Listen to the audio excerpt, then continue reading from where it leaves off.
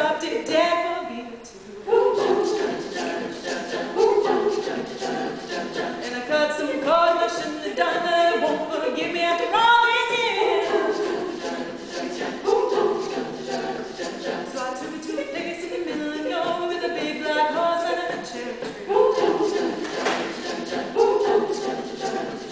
And it won't come back cause it's so, so happy.